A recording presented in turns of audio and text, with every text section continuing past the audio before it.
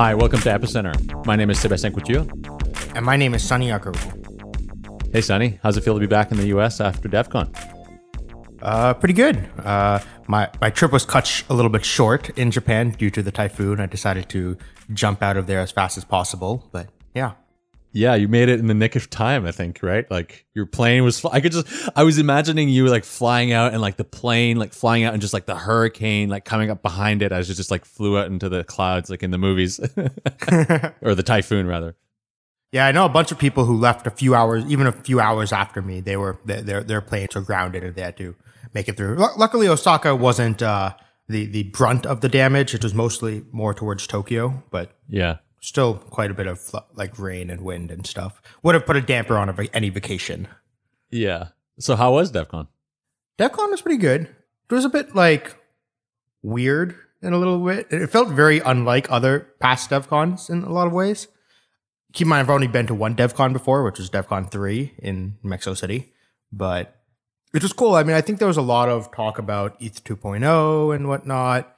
I would say my overwhelming thing I would just say is it felt less like a DevCon and more like Osaka Blockchain Week. Yeah. In the sense that it wasn't very Ethereum. It didn't have the same Ethereum focus as it normally does. Like when you walk into the main venue, there's no, where's the rainbows and unicorns gone, and where, where's the ETH logos, and where's the all the main stage talks or like non Ethereum stuff and whatnot. Why do you think that is? I think there's this interesting question of what is the Ethereum community? Is it the core Ethereum technology, that specific chain, or is it this community of people who are interested in decentralized applications and Web3 and DeFi and whatnot? And so if it's the latter, does that mean that other layer one platforms that are also trying to push forward that same movement are also part of the Ethereum community or not. And I think that was kind of the general debate where it seems the Ethereum Foundation seems to think that those are.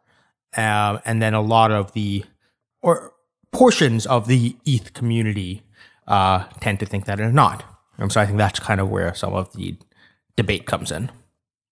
I mean, I wasn't there, but I've, I've heard a lot of similar things from people who were. I heard on another podcast someone say that increasingly, you know, other projects that are trying to launch their own layer one solutions, in order to grow communities, need the kind of buy-in from the Ethereum community. And that being at this conference and presenting their ideas there and sort of like showing good faith and sort of patte blanche. Uh, I don't know if you can say that in English is a way to to gain credibility in order to launch uh, like new layer one solutions.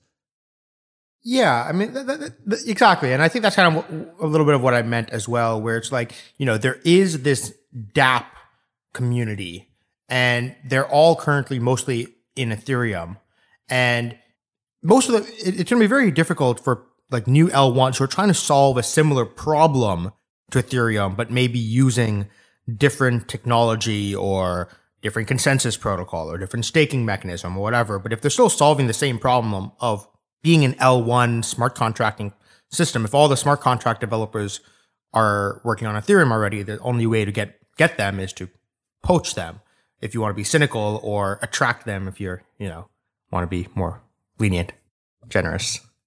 Yeah, that's that's interesting. It would be interesting to see how these ecosystems grow and, and what synergies will exist between them in the future you know for the ones that will remain because i presume a lot of a lot of these other layer one solutions that are being proposed you know, might find their own niche applications or might even you know just disappear in a couple of years.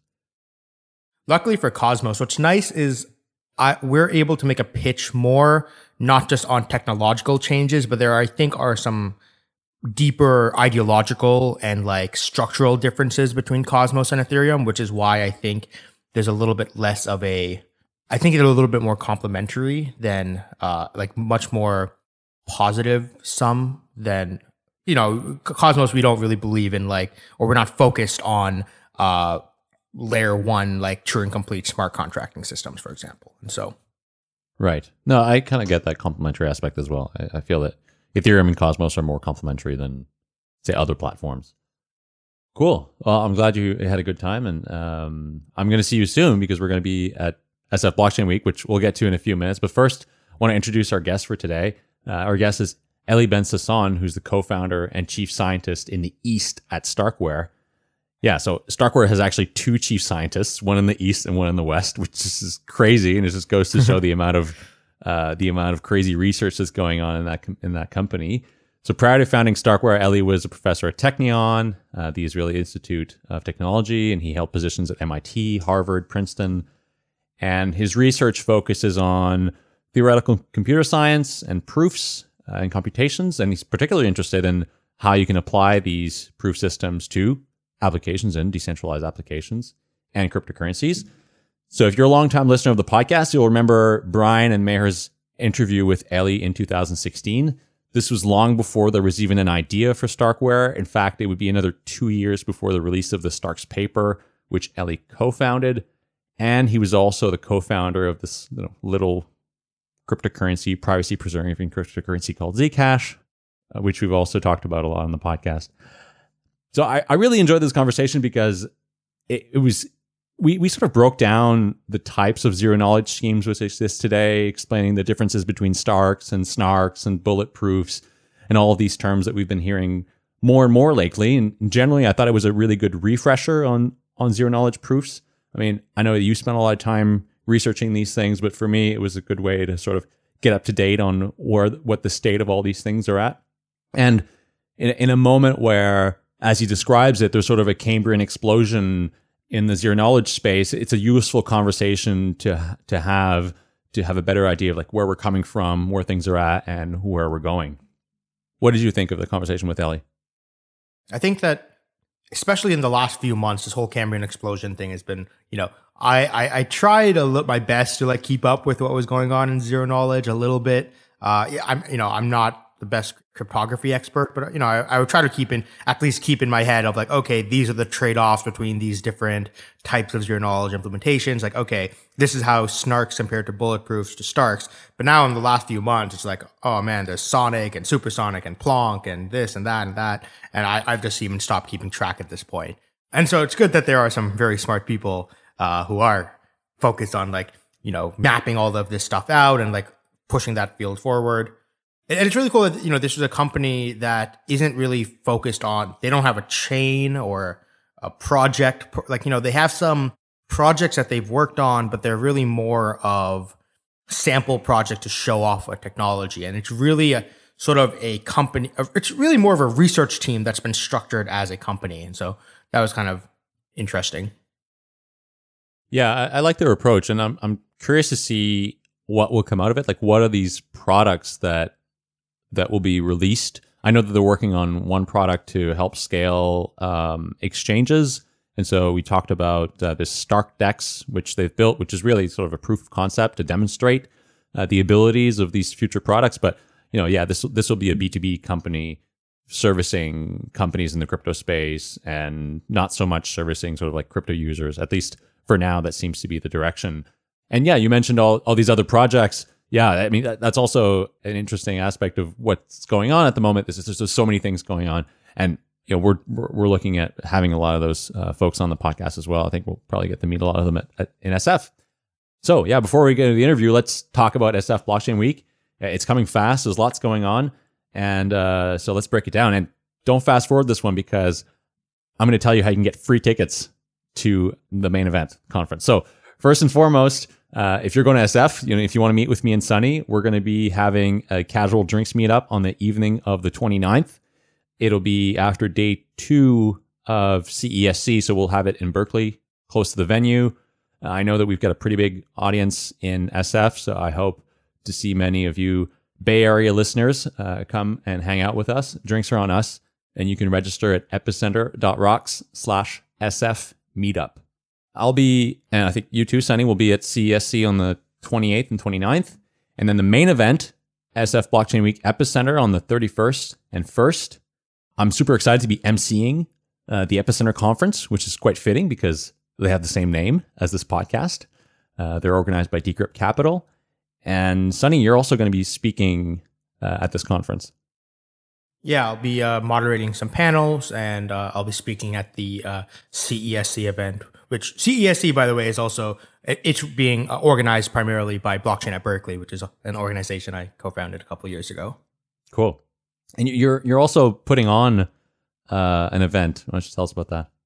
Yeah. So I'm kind of also helping put on another two events actually, but one of them is this uh, macro.wtf event. So basically, uh, back in Osaka, the day before DevCon, there was this awesome event called DeFi.wtf. And it was just like a one day conference uh, where they invited a bunch of DeFi speakers. And it, it, was just a really good conference. Like all the speakers were really great. The, the vibes were really good. They had this like cool aesthetic, which I know, I, I really like. And so, yeah, it was a really good event. And so after the event, I was hanging out with them and I was just telling, we were chatting about, you know, I want to see more. One, I was like, okay, we should turn this like .wtf thing into like into a thing. Like let's like let's do another event. And I've been reading a lot mostly on macroeconomics lately, and so I want to do something where we put crypto in the context of macroeconomics. And so that's what we're doing on the Wednesday of SF Blockchain Week. So the day between CESC and Epicenter, we'll have a uh, our, our own little event and on the 30th. Yes. And if anyone's interested in speaking, we're, we're still actively looking for speakers. And so uh, just feel free to message me on Twitter or on Telegram. Uh, my handle is sunnya97 on both of those. So that's uh, macro.wtf for more details. So yeah, so tickets are still available for CSC and, and the Epicenter conference. So if you want to get tickets, you can go to epicenter.rocks slash SFBW tickets and enter the code epicenter2x for 20% off. And here's how you can get free tickets. Uh, so they've got a deal with eToro, which were our guests last week. Uh, Yoni Assia was on the podcast. And so if you create an account with eToro and deposit $50, you'll get a free ticket to the Epicenter conference. I mean, that's a pretty good deal, right? Like 50 bucks deposit on eToro. You, you know. So to get in on this deal, you just need to go to sfblockchainweek.io slash eToro and the details are there. I think you need to do it before the 28th, which is fitting because that's when the conference starts. Then we're also going to the DeFi hackathon over the weekend. Uh, Sunny, tell us about this hackathon and why people should be excited about it. Yeah, so Cosmos is one of the uh, lead sponsors of the uh, of the hackathon, but you know, so I'm, I'm really excited to kind of show off some of the stuff that we've been working on on Cosmos and why it's a really cool uh, platform for building cool DeFi applications. Uh, some of which I've been working on uh, over the past couple of months. Uh, you don't have to build on Cosmos for the hackathon. You can build on anything you want. And it'll be really interesting just to see a hackathon that's really focused on DeFi products. Yeah, I mean, there's a, there's a fifty thousand dollar prize pool in Atoms for winning teams, so that's a that's a good reason to attend. You know, it's going to be super DeFi focused. So I mean, you could you could build like a lending platform. You could build like a stable coin on Cosmos, for example, and I think IBC, yeah, IBC will be ready by then. So you can also interoperate with the existing Cosmos ecosystem so that there's all sorts of possibilities here that opens up. Yeah, that's one of the most exciting things. It'll be the first time IBC is kind of ready for people to play with. And so a lot of people are going to be coming in and like, uh, I know, for example, Kava is for their project, they're working on, uh, an, I, an IBC de- uh, demo of like moving atoms and stuff onto the Kava testnet and collateralizing them to create stablecoin. So yeah. That's super cool. I'm like really excited about that. To register for the DeFi hackathon, which is organized in part by Cosmos, our sponsor, go to epicenter.rocks slash sfcosmos and be sure to let them know that you heard about it on Epicenter. I'd also like to tell you about our other sponsors for today's episode. So recently I started reading The Bitcoin Standard by the economist Saifedean Ammous. And he spends a considerable amount of time at the beginning of the book talking about the history of metals as money. And throughout the years, throughout the centuries, copper, silver, and gold have been used as money. But what has remained consistent is gold's position as the most stable and trusted source of stability as money. And to some extent, that remains true today. In fact, as he describes it, central banks are still buying and stockpiling gold in great amounts. So if you're holding crypto and you'd like to buy gold, there's no better way to do that than at vaultoro.com. Vaultoro is a leading gold to crypto exchange, and they've just released their brand new V2 platform, which looks and feels great. You can create your account in just a few minutes, and once you're verified, you can transfer Bitcoin or Dash onto your Vaultoro account and start trading gold. What I love the most about Vaultoro is that you're not buying some gold derivative or some asset which is backed by gold. You're buying real hard gold, man. It is protected by Brinks, stashed in vaults deep in the Swiss mountains. And if you'd like, I mean, you'd have to be a little crazy, but you can have that gold delivered to you. At Epicenter, we've been friends and customers of Vaultoro for many years. We've held a portion of our crypto assets in gold, and we've always been happy to have that stability whenever the markets were really volatile. So to start trading, go to vaultoro.com and create your account. And when you do, do me a favor. On the bottom right of the website, there's a little yellow support icon. Click on it, and in the message box, just say, I heard about you on Epicenter. That would make me really happy. We'd like to thank Vaultoro for the support of the podcast. I'm also really excited to tell you about our new sponsor this week, and that is B9 Lab. And if you don't know about B9 Lab, they are the premier blockchain developer academy on the market. I've been following them for many years. In fact, their co-founder Elias Haase is at about every blockchain conference in Europe, so we've bumped into each other many times over the years. And it's been great to see this company grow from a small team and just a handful of courses to now over 15 people with professional instructors and a breadth of courses that spans just about every blockchain protocol on the market.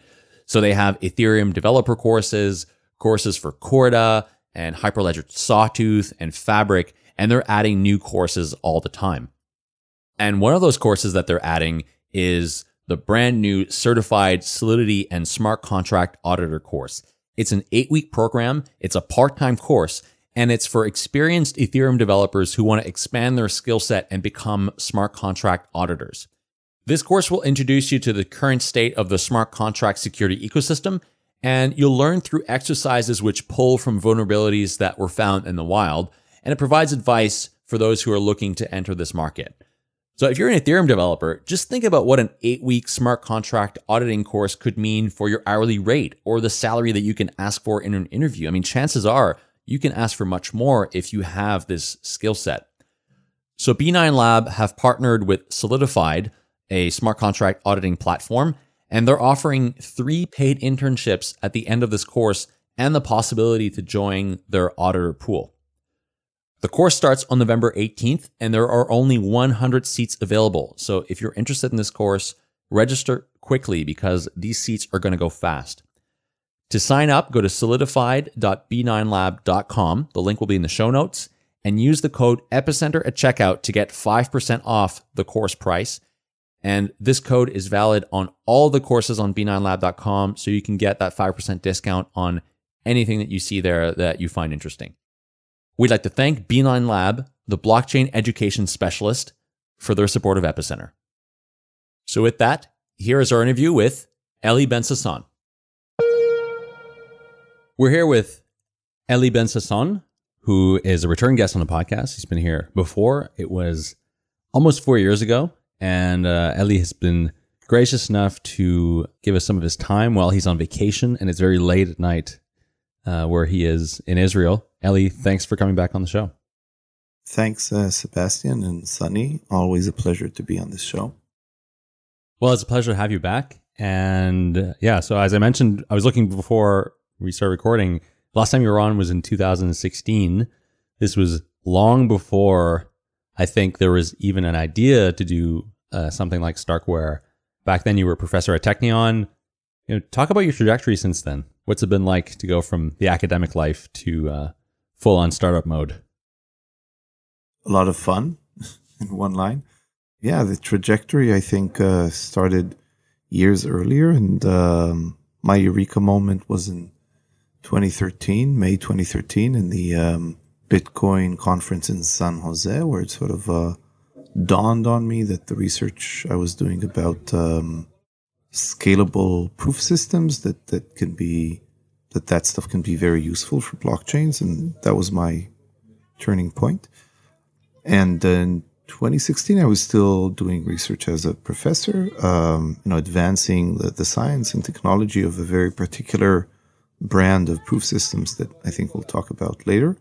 Then I believe it was at the end of uh, 2017 that, that sort of uh, we realized that, that it might be time to try and uh, commercialize this stuff. This was uh, right after we were ready to publish um, work on the ZK Starks that we'll talk about later on. And uh, we started this uh, company almost two years ago. So it was around uh, the end of uh, 2017. And uh, yeah, it's been a lot of fun since then. Um, very exciting. Before uh, working on Starkware, you were also one of the co founders of Zcash, right? Yes. Was Zcash already going on when we when when you were on last time, or was that something that you got started with afterwards? I was definitely involved in Zcash in 2016. I think the coin launched at the end of 2016. So I guess around the same time I was doing the interview with you, but I was definitely involved with Zcash then because the company has been working, I mean, was working on it for a while since then. Yeah. So back then I was also involved uh, in Zcash, which is also a very exciting uh, project that, that I'm very proud of, uh, you know, having contributed to, along with my other uh, founding scientists on that thing. But uh, yeah, since then we we sort of moved on to other technologies and other uh, endeavors. And so, with one of your other uh, co-founders uh, at Zcash, with uh, Alessandro Chiesa, now you guys are both chief scientists at Starkware. so, can you tell us a little bit about the origin story of how you guys decided to, how Starkware came into being? Yeah, so um, I guess for me, the origins go a very long way back to the days I started my postdoc in 2001 at MIT.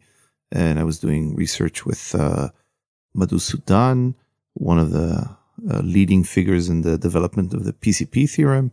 And it was this trajectory of, of uh, you know, reducing, both making systems a bit more efficient, but also reducing stuff more and more towards practice. And this is something that um, was uh, our passion for a very long time. So, so again, this for me, it started maybe in 2001.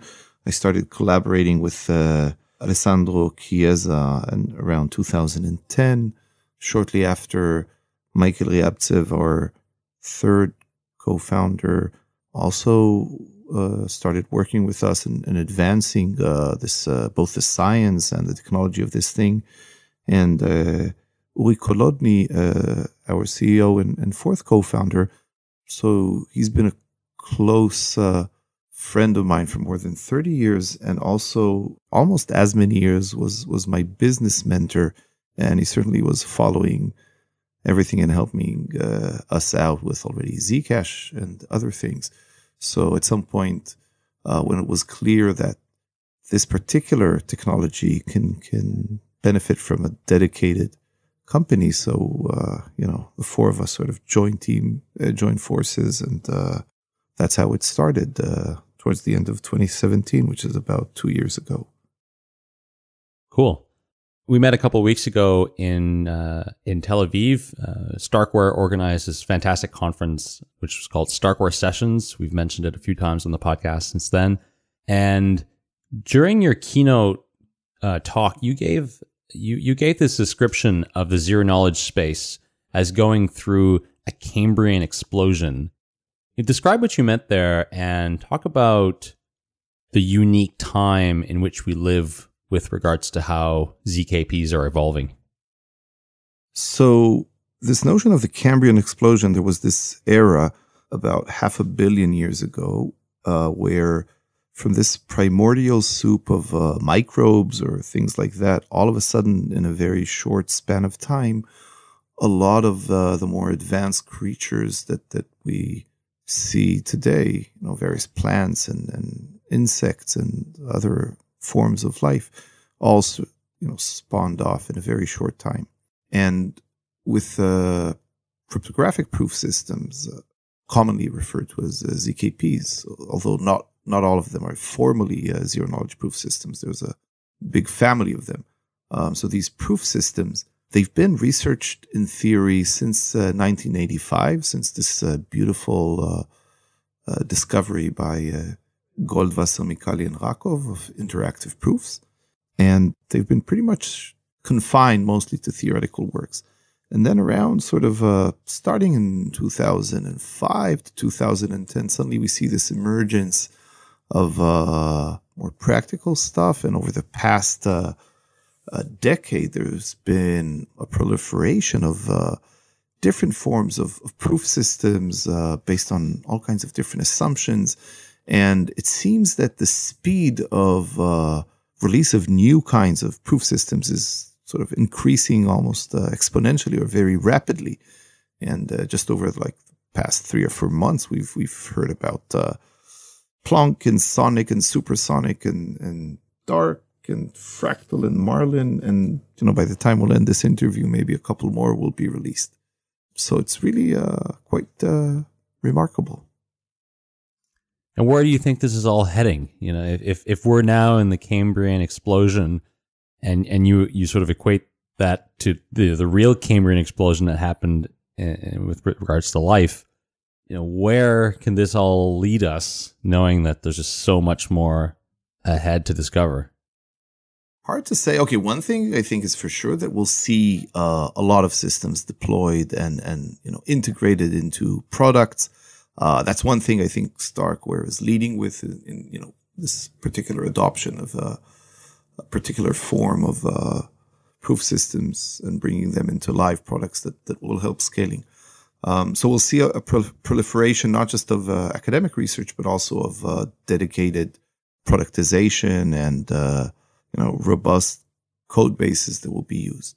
I think at the same time, we'll also see a better understanding of the different building blocks uh, by which you can compose and build different um, proof systems. We're already seeing this, so this will continue, and you know, at some point, we'll we'll come to some uh, decent understanding.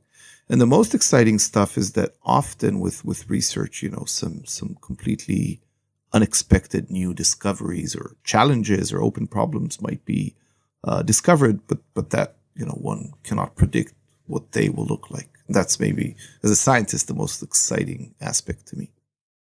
Do you think it's a matter of like we're going to be finding the perfect proof system that like kind of satisfies most of the use cases, or are we going to get into a ecosystem where we have like many different proof systems, each of that are, maybe are good for specific use cases?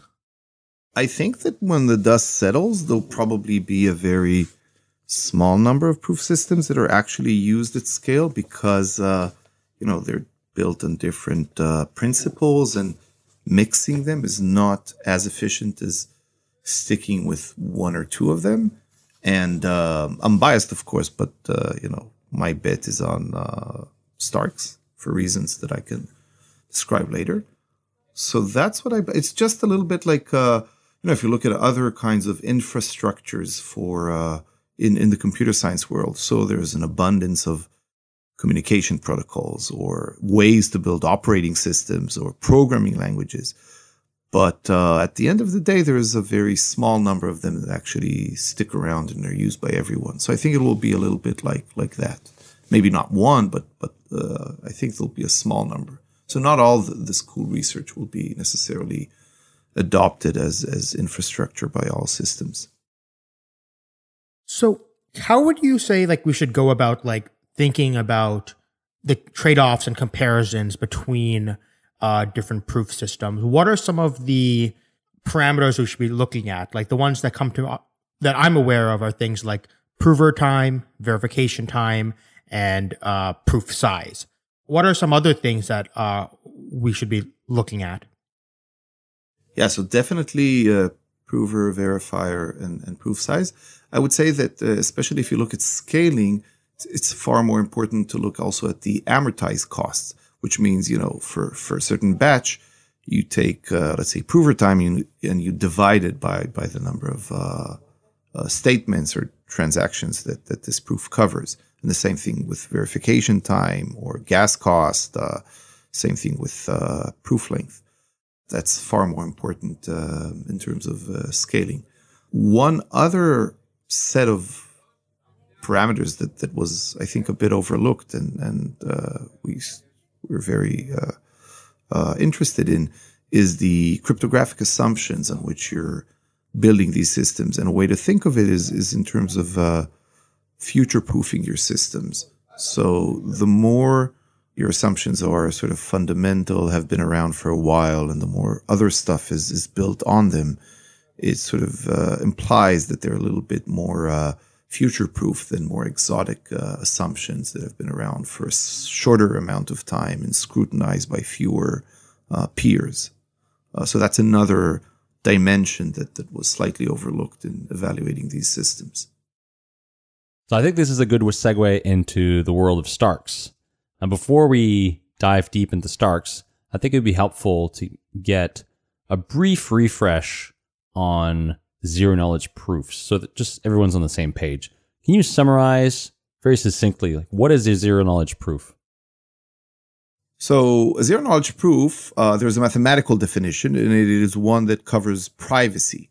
Basically, informally, a zero knowledge proof is, is a proof. Uh, think of it as some, some sort of beefed up uh, grocery receipt that uh, when you look at it, you're completely certain that the, uh, let's say, the total sum that you need to pay is correct, but you learn nothing other than this fact. So it's a privacy preserving technique, a magical one at that. Uh, the term ZKP, by the way, by now has been sort of borrowed to cover a much larger range of uh, proof systems that, that I like to refer to as either cryptographic proofs in general or sometimes as proofs of computational integrity. And both of these terms are terms that are not mathematically and formally defined. So you could sort of loosely use them to define a very large range of proof systems, including ones that, that mostly care about scalability and not privacy. So you have this sort of receipt that tells you uh, that a very large computation or a very large batch of transactions has been processed correctly without um, needing to pay the cost of, of checking each and every one of these transactions.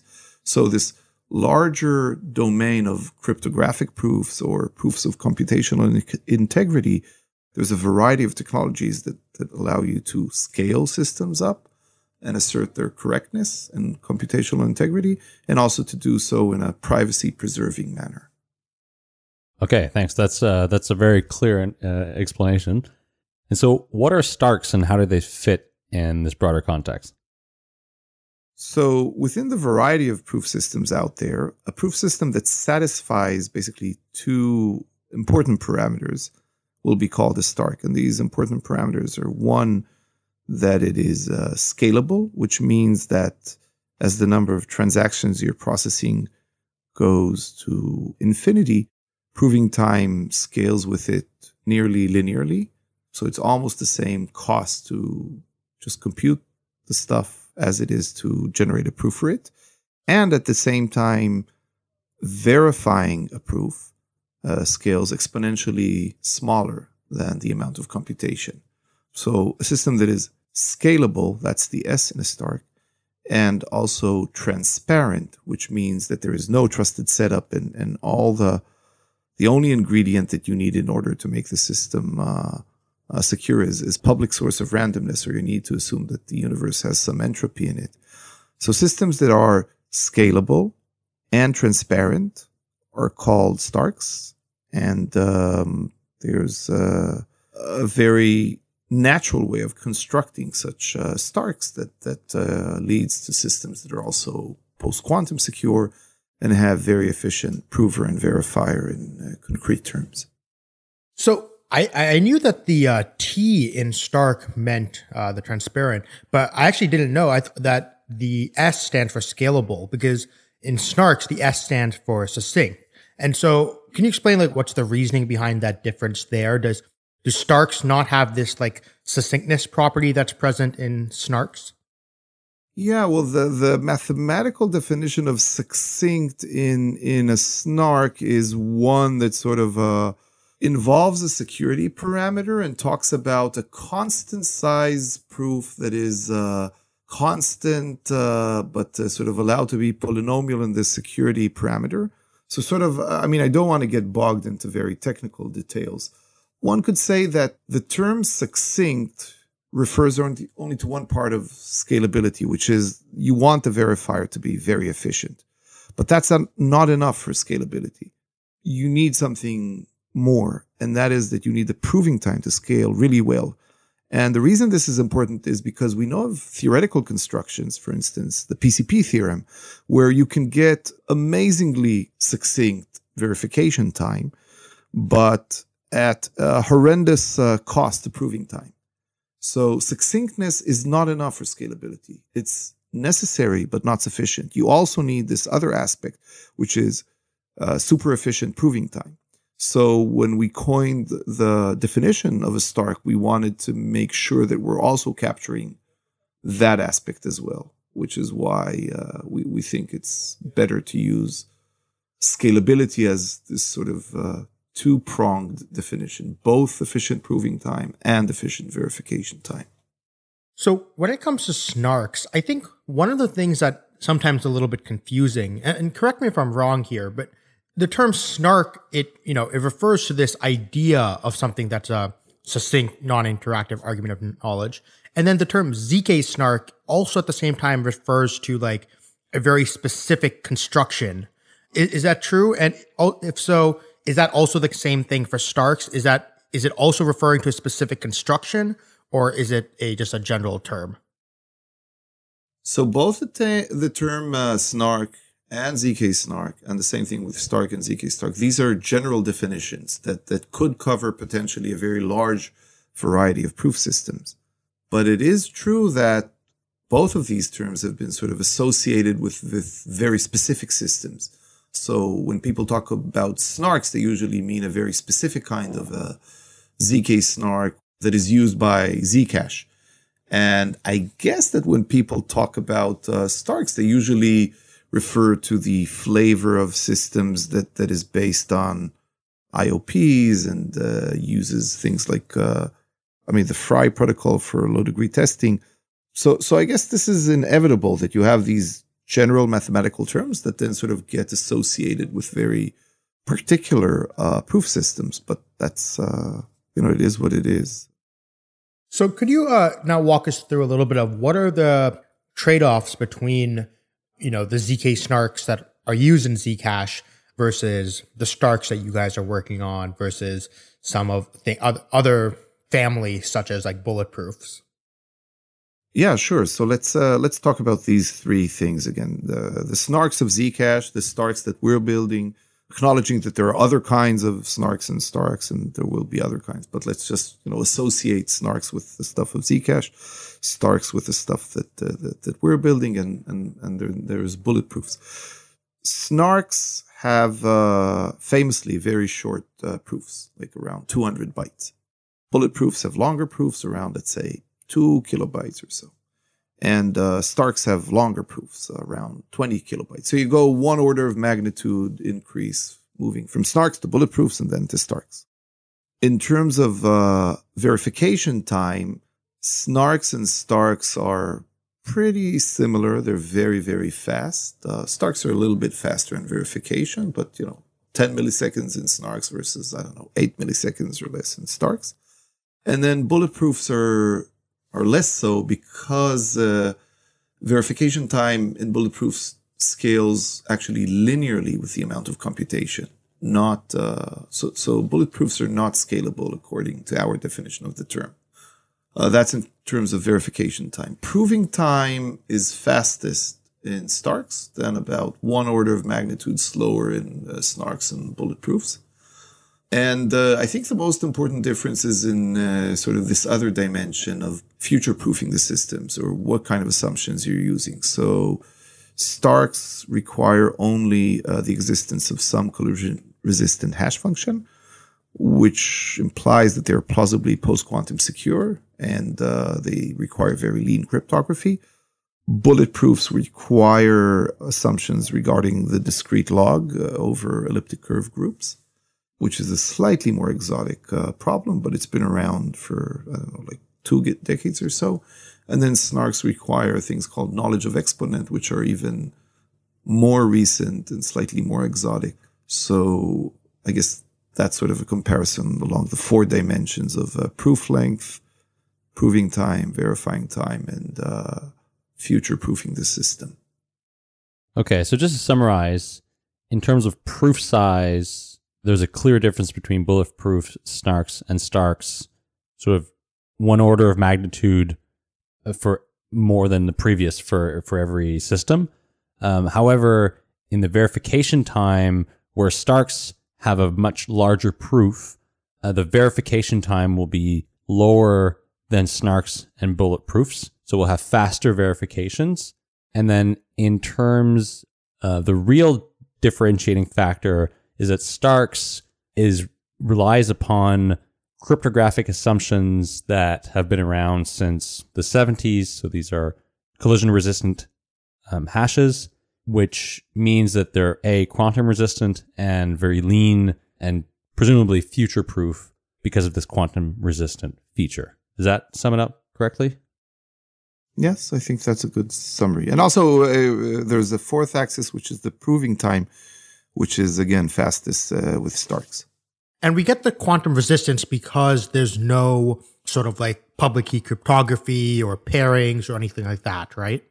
Quantum computers are, are known to be pretty good at solving problems related to hidden subgroups and, you know factoring and discrete log and things like that but they're not known to be able to break all cryptography. And in particular, there's a wide held belief that most hash functions uh, will be secure against quantum, quantum computers, which is why uh, Starks are so. So if Starks relies on cryptographic assumptions that have existed since the 70s, why did it take so long for them to come into existence? Are there other things that needed to be invented before Starks could exist? Or did we just need you to figure it out? That's a good question. So, so a lot of the more practical cryptography in recent years has, has revolved around um, sort of uh, number theoretic assumptions and elliptic curves and so on. So, there, so there, there's this very wide class of researchers that are sort of somewhere between theory and practice that are very familiar, who are very familiar with uh, cryptography that uses uh, elliptic curves and, and uh, you know RSA and other things. And the branch from which uh, Starks emerged from, which is known as computational complexity or the PCP theorem and things like that, has been you know this uh, sort of uh, the playground mostly of uh, theoreticians and, and mathematicians and, and very few practitioners or more practical oriented researchers have ventured into it. Another factor was that um, some of the earlier constructions of uh, things like Starks were not as efficient, and and you know we needed to sort of uh, tighten and and invent some some new stuff like you know the the FRI protocol, um, fast Reed-Solomon IOPP, and and the IOP model, and uh, so the, the IOP model is joint work with uh, Alessandro Chiesa and uh, Nick Spooner. The, the FRI protocol is, is joint work with uh, Michael Riabzev and um, Iddo Bentov and Ynon Horesh. And then, then we've done some, some further improvements to the FRI that, that also made things a bit tighter, like uh, DEEP-FRI that most recently uh, emerged, which is uh, joint work with Lior Goldberg from Starkware and uh, two of our scientific advisors, uh, Swastik Kopparty and Shubhangi Saraf. So there's a little bit of advancement that needed to be done and some, you know, new mathematical stuff that needed to be invented. But there's, it's, I think it's also this cultural thing that the class of folks that, that can build um, things like Starks uh, used to include a very small set of people and, and those that are more familiar with the techniques around uh, snarks or bulletproofs or other things is is a wider set of uh, researchers. Okay, interesting. How should we think about some of the newer stuff that's coming out as well, especially within the IOP family, things like Aurora and stuff? There's a, a wide variety of systems that are uh, similar to Starks in, in requiring only the existence of a hash function. Uh, so Aurora is one. There's uh, ZKBoo, Ligero, and then there's uh, more recent, uh, I believe it's uh, Fractal and Marlin, that uh, at least one of them doesn't really require uh, uh, you know, anything but for a collision resistant hash.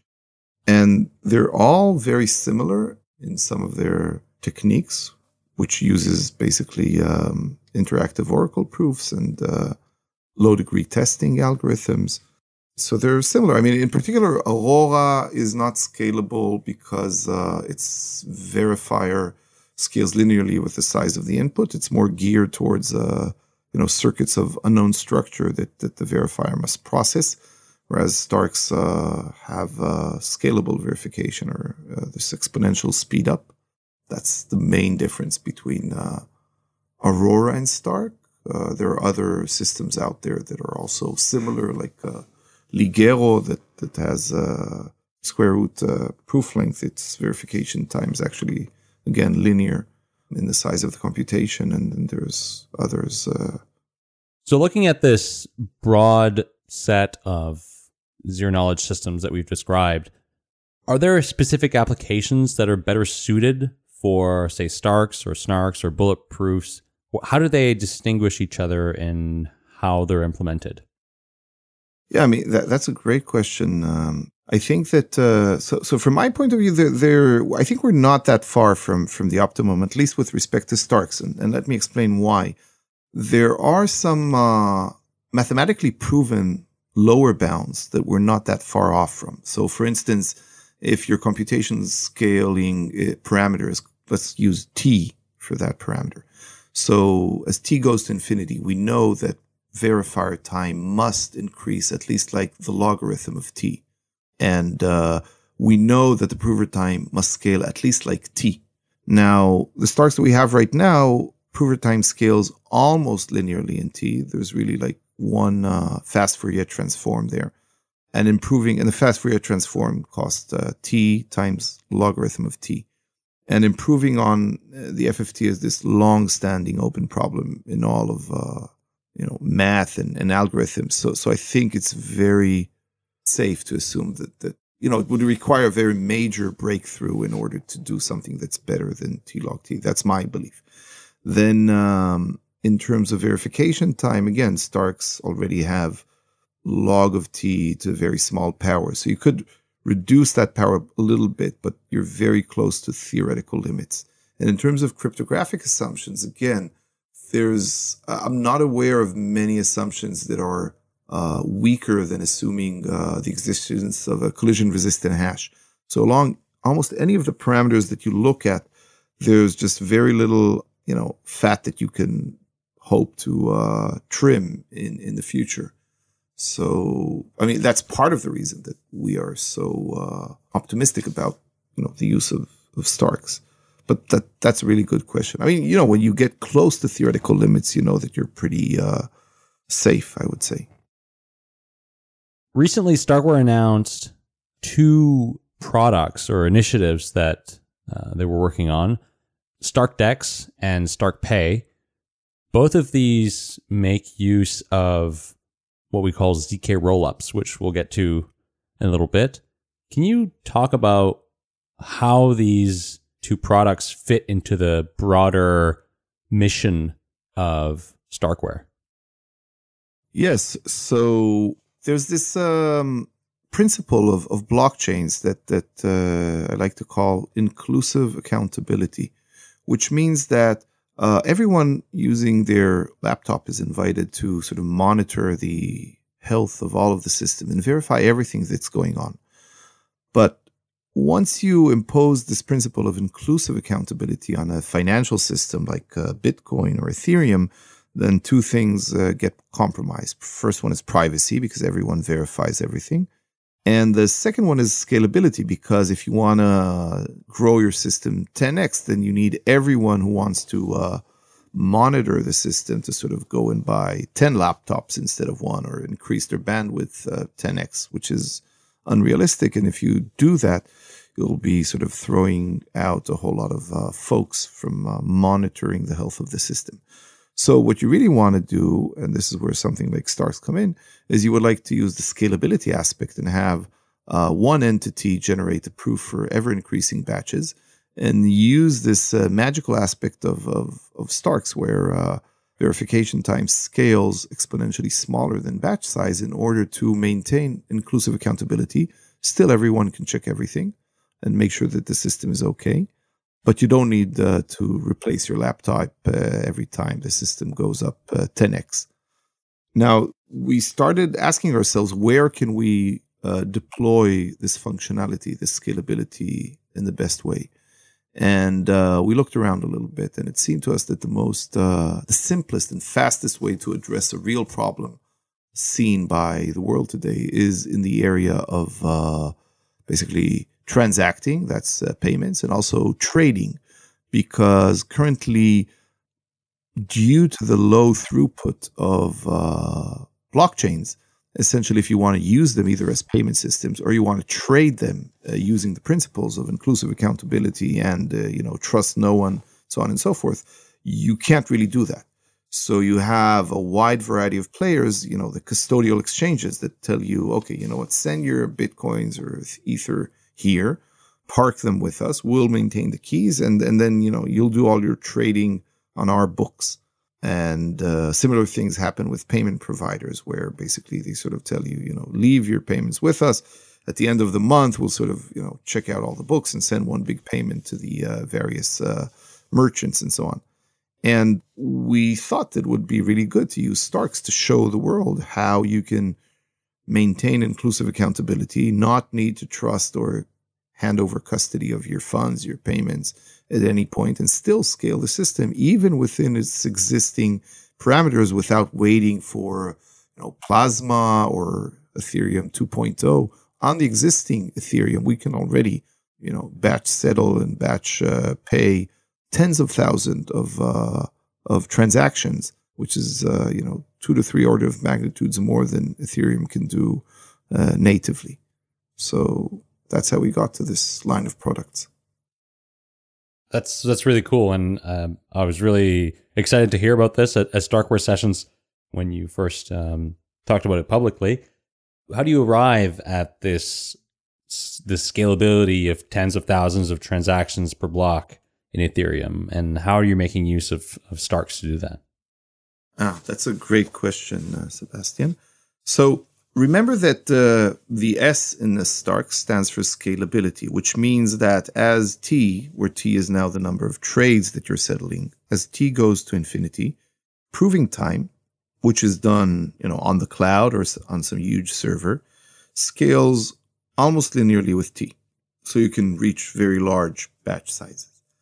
At the same time, verifying a batch of T trades does not take uh, uh, you know, does not scale linearly in t. It scales actually like the logarithm of t, which means that each time you go 10x on on the number of transactions you want to settle, you're only you know doing plus one on the amount of gas that you're paying on the chain. So uh, using this kind of uh, you know math allows you to take, for instance, a batch of 32,000 trades generate a single proof that they settled correctly. And that single proof can be verified within the gas limit of a single Ethereum block. So this gives you an amortized gas cost of around 200 gas per trade that is settled. So you are using the scalability, the exponential speed up in verification in order to exponentially reduce the gas cost of settlements. And why did you choose to focus on scalability rather than privacy, for instance, which is what I think most people associate to zero knowledge systems? So, back in the day when we thought about uh, which of the two aspects of uh, Starks should we pursue first, is it privacy or scalability? Our thinking was something along these lines. Okay, there are a lot of technologies that for the single shielded transaction are pretty good. You have the snarks of Zcash. You had already back then bulletproofs, which again for a single shielded transaction works pretty well, and a bunch of other technologies. But there was this huge need in scalability solutions. I mean, there still is.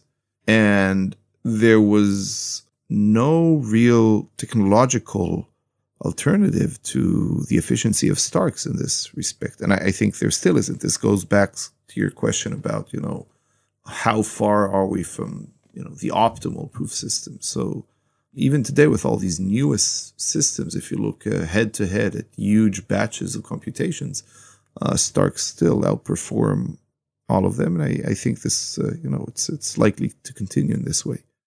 So it was very clear to us that scalability uh, is uh, an area where this technology can be applied to very uh, in a very unique way, and it's a very big need. So that's why we addressed it first. We will add privacy, have no doubt, but uh, I think it will come later. So one thing that's happening here is in this model, you're batching within a block, but it's still so you, you, you amortize only what's going on in a single block. We can compare this to things like Coda, for example, or like things that make use of recursive snarks, where not only do you amortize the computation within a block, but you amortize the computation over the entire system. Would it be possible to recurse the snarks? Because then, if so, you only really have to publish the proof onto Ethereum, uh, the data, but you don't actually have to run the verifier on Ethereum until someone actually wants to exit. So would that be possible to be done with the Starks? So whenever you have a proof system in which verification scales uh, sublinearly with uh, computation size, you can uh, compose it uh, incrementally. So this this notion was first described in this beautiful paper in, uh, by Paul Valiant, and it's called incrementally verifiable computation. So whenever you have a proof system in which the verifier running time scales sublinearly with the computation size, you can use it for chopping up a computation into steps and doing them one after the other and proving that you ran a verifier that ran a verifier that so on and so forth. So you could do that with Starks as well. Uh, you know, uh, quite efficiently. Whether for a given problem this is your best line of attack, I'm I'm skeptical. I think that for most applications, you're better off just using a Stark. It will be more efficient, or you might want to use uh, limited recursion uh, Starks. Let's say you know one level of recursion, which means you prove that you checked a bunch of proofs. That's where you end. Not that you checked proofs that checked proof that checked proof and so on and so forth. So just to summarize, you can do a recursive Stark. I think that practically for most uh, problems that you'll face, you are better off not using it, even though you can. Let's say in the StarkDEX, let's say users only exit their coins once every 100 blocks, let's say, right? Mm-hmm. It, then, if we use the recursive Stark, instead of having to run a verifier every single block, we can only have to run the verifier once every. Really, only we only need to verify the state, to prove the state to Ethereum when someone is actually trying to exit. So, how many blocks, for example, would that have to be that makes it worth it to use the recursive system? I don't know, but like uh, you could still, uh, if you want to prove that you checked uh, a uh, hundred proofs sequentially, it would still only be one level of recursion. Your statement would be, "I saw a sequence of a hundred proofs, one after the other." This is not a hundred levels of recursion. A hundred levels of recursion would be, "I want with each block to verify." You know, that verifier run by the previous block, which checked the verifier run by the previous block, and so on and so forth, ad infinitum, that this thing worked. And that's a very different construction that is also, you know, it's uh, security analysis is sort of much more uh, tricky to do. And uh, if you really want to do it the right way, then, you know, various parameters blow up very quickly. So even for the uh, use case that you're giving, which is a very practical one, you're probably better off with just having uh, one level of recursion. You know, every 100 blocks, you have a verifier proving to you that it saw a sequence of 100 proofs and it checked all of them. This is still one level of recursion.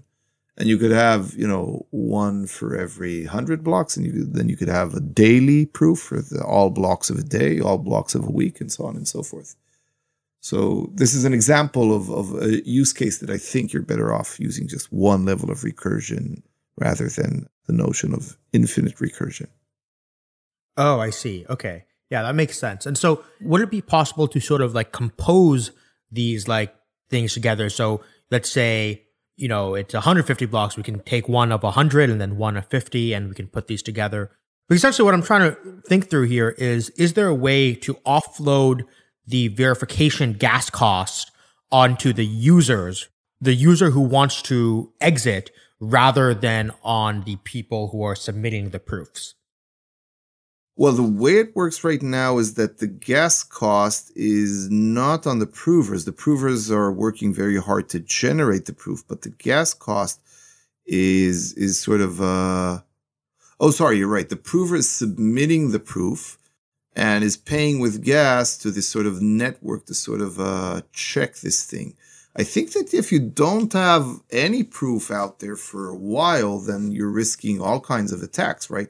how do you know that the system is actually evolving correctly uh, until someone 100 blocks later comes and says oh i need to you know take my money out maybe by then someone ran off with it and you know no proofs were provided so so i'm not sure i think you still need proofs pretty frequently i believe that uh, from what you guys wrote up it's that you're including for the, to solve data availability you're still pushing the data onto ethereum of all the trade data. And so couldn't this proof data also be pushed on in the same way that the rest of the data availability is done, but just not actually run the verifier?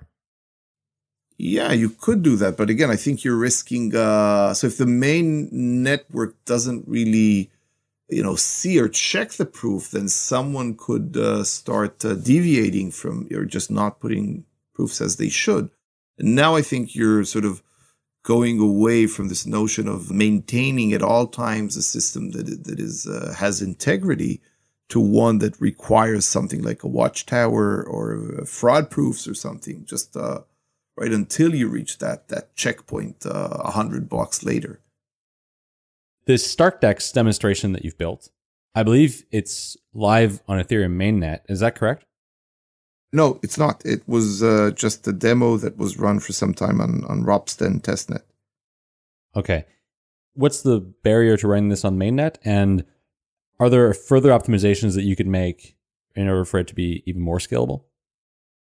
Yeah. So, um, I mean, to run it on mainnet, uh, first of all, you have to sort of run a whole bunch of audits and then add a lot of functionality. For instance, it was only in the maker taker model and basically uh, sorry, if you want to put it on mainnet, you want to add other kinds of uh, order types, limit orders, uh, you know, partial fulfillments, uh, cancellations, whatnot.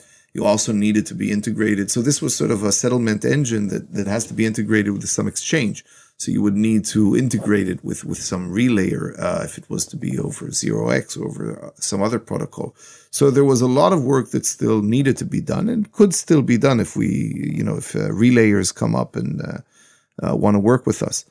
And uh, definitely, you can improve uh, the functionality of it, and that's precisely what uh, our team has been doing pretty impressively uh, since the launch of that that thing. So now we have a system with far greater functionality and scale than what appears in that uh, demo alpha.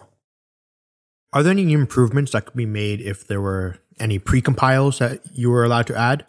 Yeah, I mean, you would lower the gas cost Basically, that's what would happen. But we found ways to uh, make everything work within the existing uh, Ethereum system and without asking for any precompile. So we can work uh, pretty efficiently even over the existing Ethereum. Uh, and uh, I mean, we're very proud and happy with that. That's another aspect of the efficiency of uh, Starks. I mean, if you compare this to what happened with uh, Snarks, for instance, so so you know, without the precompiles, they you couldn't really run them nearly at all on on Ethereum. So that's why Ethereum went ahead and added some precompiles. But with uh, Starks, uh, they're already efficient enough uh, without any changes to Ethereum.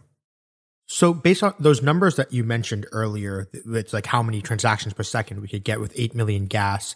The, so the limiting factor is no longer the gas limit for the verifier. The limiting factor is now the proving time for the prover. The gas limit per block is still a limiting uh, aspect, but we can uh, sort of still put a lot of proofs out there. So we reached uh, 32,000 trades that we can send, settle in a single block maybe we could we could push it also to 64k. Uh, I should say with the uh, uh, once uh, Istanbul turns on with EIP 2028 that we're very proud to have helped uh, to push forward. Then the only factor that will limit us is is exactly what you said. It's uh, the amount of compute that we can uh, generate uh, uh, off chain, but practically almost you know, I can't even compute what the limit will be, but it will probably be in the many, many millions, if not uh, maybe billions of trades. Oh, that's impressive. Thank you. So let's let's move on to Starkware, the company, because you know you guys have built these these demonstrations, StarkDEX, and there's another initiative that came out recently called StarkPay, which we didn't even have a chance to talk about. Um, but what is the goal of Starkware, the company, and what problems is it trying to solve and for which types of customers? So our long-term vision is to um, help uh, Stark technology become prevalent and used as uh, infrastructure in a whole variety of blockchain uses, and then also in uses outside of blockchains, just in the standard world. But you know, we're we only have 32 engine, uh, you know, folks right now, and we need to move uh, cautiously, one thing at a time.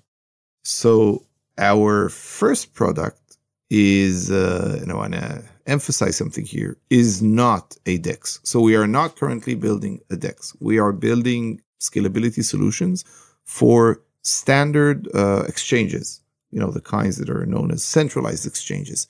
So just a week ago, um, our team announced uh, at DevCon 5 that uh, by early 2020, we'll be launching the Stark Exchange engine, which is not a DEX, and it will be serving uh, DeversiFi, which again is not a DEX itself. It is a uh, you know an exchange that is sort of uh, you know operates like Bitfinex or Ethfinex um, with similar liquidity pools, but against which you trade without ever handing custody over your assets to the uh, exchange operator.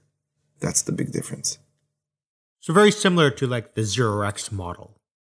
Very similar in the sense that that uh, you do not transfer uh, custody over your assets to anyone while you're trading, but in other ways it's very different. I think zero X is this basic protocol that, that is used as a you know a layer that that others are supposed to build on whereas we are building a service that will be serving uh, a particular customer in this case uh, DeversiFi even though we would very much like to offer this uh, service of, of generating proofs to other exchanges as well.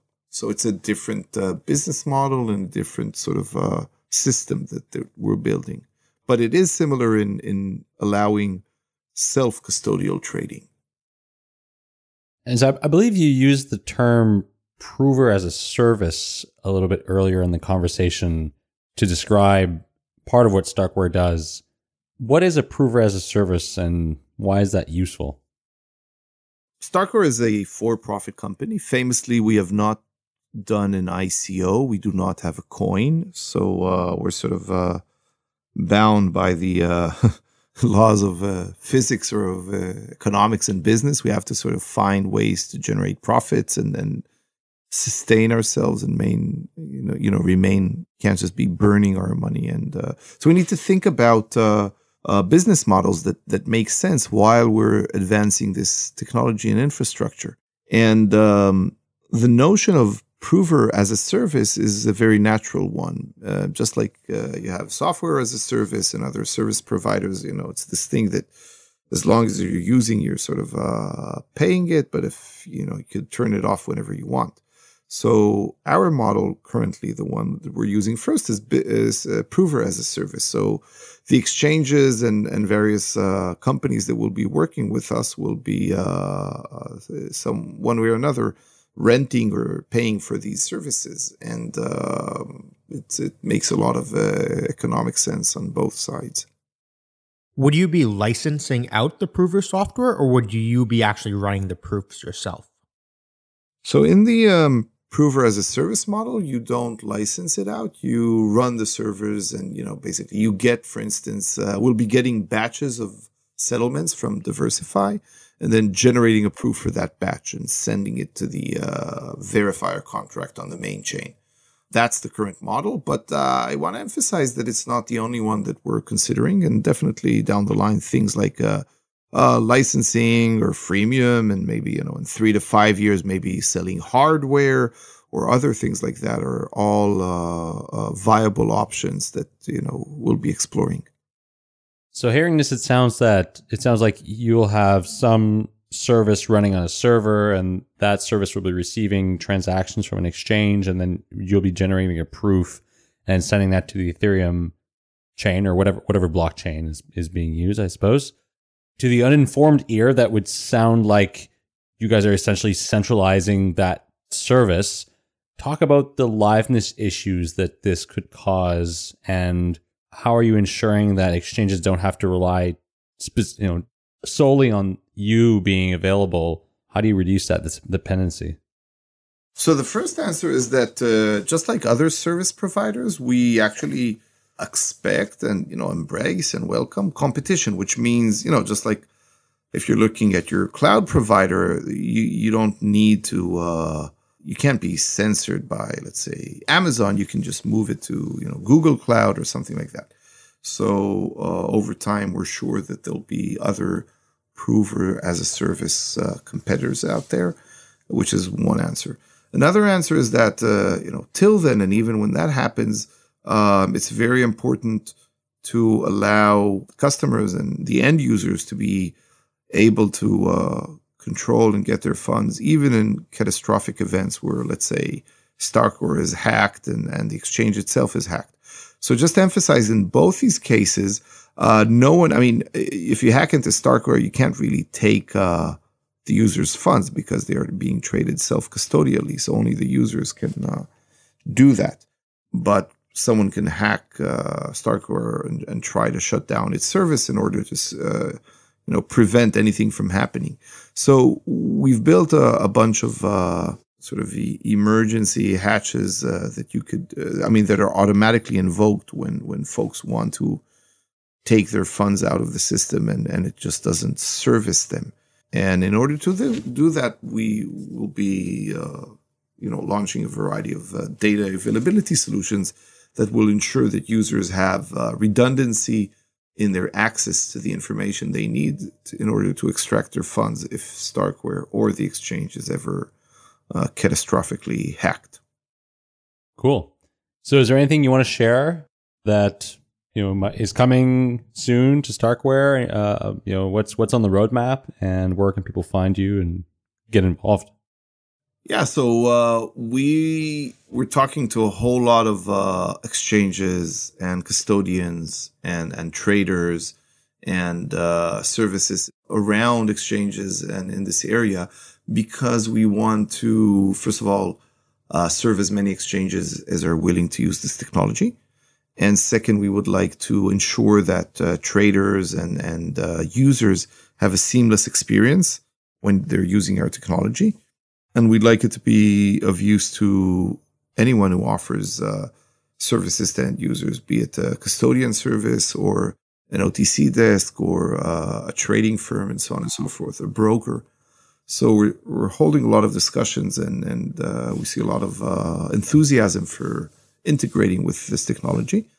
So MetaMask uh, announced that you know we were the first uh, team to use their new API in order to allow traders to use uh, or trade on uh, our systems using uh, uh MetaMask, and we're uh, currently integrating our technology into Ledger, so that again traders can sort of seamlessly use it.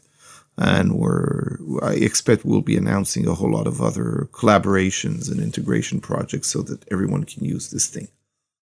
At the same time, we're also talking to a lot of uh, exchanges, you know, big ones and small ones, and, and I think we'll see a few others uh, joining uh, DeversiFi in in this uh, move to uh, a larger liquidity pool for trading uh, in a self custodial way. And this is very important for a variety of reasons. First of all, it's uh, safer for traders, which is good for business. It's also good for the exchanges. You know, the insurance cost and security overhead is much lower. Another thing is that you can sort of move in and out of your positions across exchanges much more seamlessly. And that's very important for, uh, again, streamlining and uh, uh, making uh, the blockchain ecosystem a bit more like the traditional one. And and lastly, there's a lot of uh, fragmentation of liquidity between different exchanges due to a variety of reasons. You know, uh, geofencing and uh, uh geographic locations and regulatory stuff and technological differences. And uh, we believe that our technology can enable you know a defragmentation process of this uh, liquidity pool and a lot more market efficiency, which is why I think the folks we're talking to are also very enthusiastic about this. Cool. Well, Eli, I want to thank you uh, once again for coming on the show and for being so gracious with your time. I know you're on vacation, so uh, I want to thank you again, and I look forward to having you again in the future. Maybe not in four years, but uh, at some point. thank you, Sebastien, and thank you, Sunny. This is, as usual, a very delightful experience. Thank you for joining us on this week's episode. We release new episodes every week. You can find and subscribe to the show on iTunes, Spotify, YouTube, SoundCloud, or wherever you listen to podcasts. And if you have a Google Home or Alexa device, you can tell it to listen to the latest episode of the Epicenter podcast. Go to epicenter.tv slash subscribe for a full list of places where you can watch and listen. And while you're there, be sure to sign up for the newsletter so you get new episodes in your inbox as they're released. If you want to interact with us, guests, or other podcast listeners, you can follow us on Twitter and please leave us a review on iTunes. It helps people find the show, and we're always happy to read them. So thanks so much, and we look forward to being back next week.